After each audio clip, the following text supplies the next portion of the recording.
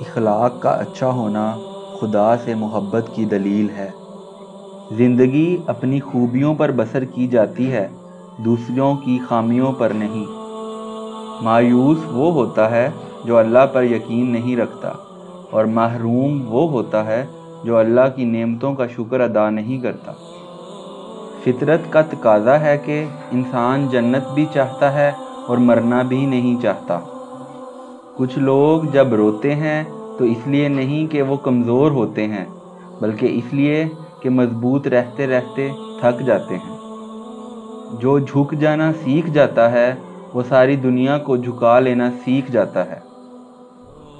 आप खुद ही अपने लिए बेहतरीन दलासा हैं, बेहतरीन दोस्त, बेहतरीन दुनिया और मुश्किल वक्त में बेहतरीन थपकी।